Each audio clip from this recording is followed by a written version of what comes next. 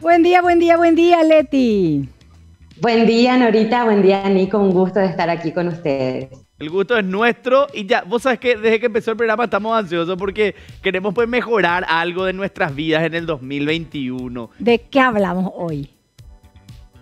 Bueno, yo creo que tenemos que replantearnos cómo vamos a recibir al 2021. Tenemos que saber que nosotros tenemos ese poder realmente de cambiar nuestro destino. Siempre dicen, ¿será que eh, no, el destino no? Vos podés decidir si tu 2021 va a ser realmente difícil, va a ser dramático o va a ser un buen 2021, más allá de aquellas cosas que no están en tus manos, ¿verdad?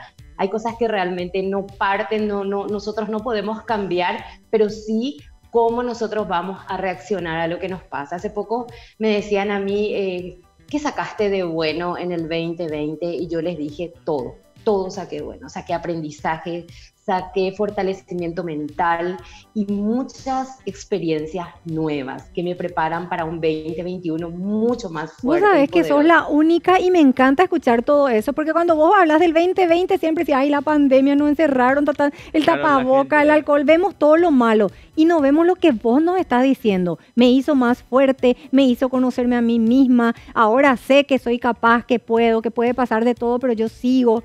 Qué lindo lo que decís, Leti. Lo que pasa es que tenemos que entender de que nuestra mente, que es nuestro compañero de viaje, nuestro aliado, puede ser aquel que nos destruye la vida o nos construye la vida.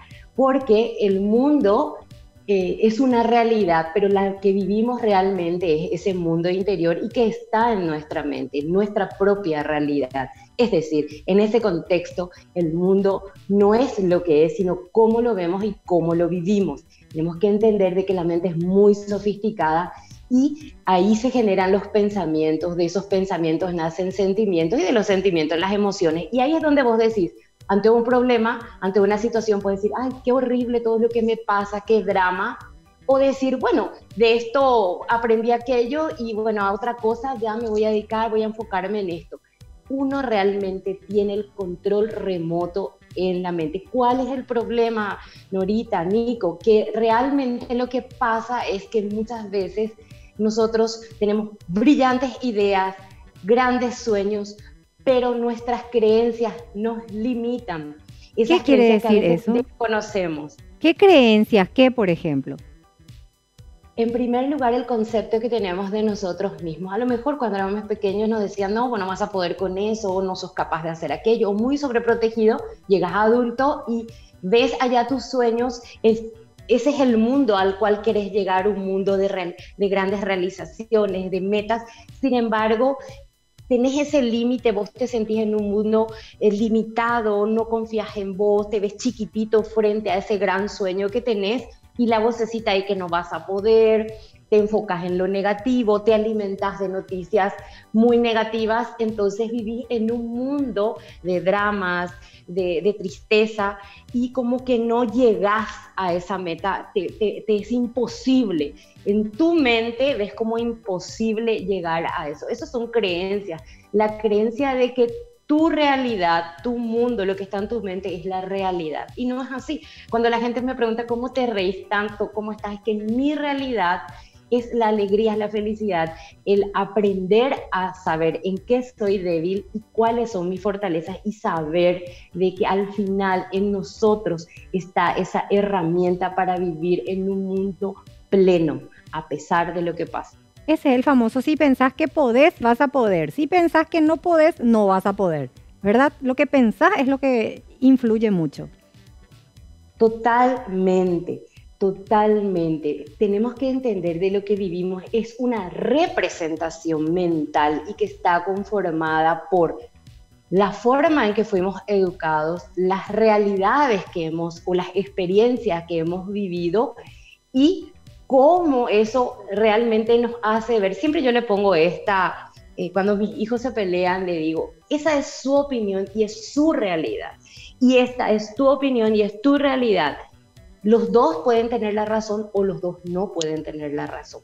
¿Por qué? Porque cada uno ve desde su posición, desde su sexualidad, desde su mente, desde su experiencia. Entonces no podemos decir que aquella persona que te cuenta que su vida es una catástrofe sea la tuya No, porque vos vivís tu vida de acuerdo a tu realidad. Y algo que tenemos que eh, entender y quiero dar unos tips es que lo primero que hay que hacer es en realidad visionar sueños, metas y en ese contexto poder describirte cuáles son tus fortalezas, cuáles son las fortalezas, ese es el punto uno que vos tenés. Y cuáles son los aspectos que tenés que mejorar para poder llegar a ese tu yo. Vos tenés un yo real hoy. ¿Y cuál es el yo ideal al que querés llegar realmente para poder cumplir tus metas? Hoy en este 2021 tenés, en este 2020 tenés una realidad. ¿Quién sos? En el 2021, ¿quién querés ser? Qué lindo lo que estás diciendo, Leti. Y vos decís que está bien, eh, cuando termina un año empieza otro, hacer esa listita de qué me fue mal y qué puedo hacer para mejorar el año que viene. Yo creo que antes de hacer una lista de, qué lo que, de lo que nos fue mal, hay que hacer una lista de lo que aprendimos. Qué bárbaro, increíble eso, Leti. Vos le sacás el lado positivo a todo. Ay, te quiero escuchar hablar todos los días, como sos un levantol. Totalmente, sos genial. Entonces, para ir cerrando, vamos diciendo, termina un año para empezar el otro. ¿Cómo nos construimos? Ok, entonces, punto uno, hacer una lista de tus fortalezas y tus aspectos a mejorar. Punto dos, realmente estás comprometida contigo mismo para lograr eso y no mirar las posibilidades, sino recurrir a esa caja de herramientas internas que tenés tu creatividad, tu capacidad y el aprendizaje. Cuando vos ves lo que viviste como un aprendizaje, tenés una visión positiva, pero también de crecimiento. Quiere decir que vos estás viendo cuánto creciste, cuánto te fortaleciste. Y por supuesto, un punto muy real, y con esto quiero cerrar, si tus sueños no te generan miedo, entonces no están a tu altura los miedos que te eh, perdón, los sueños que te generan miedos, te desafían a un mundo mejor. Y la base de todo esto para poder cumplir es creer en vos. Me quedo creer con en vos a pesar de todo. Los sueños que te generan miedo, me quedo con eso. O sea, tiene que tenemos que salir de nuestra zona de confort y e ir por más. Muchísimas gracias Leticia Centurión, conferencista. En las redes sociales te encontramos como como Leticia Centurión, conferencista internacional.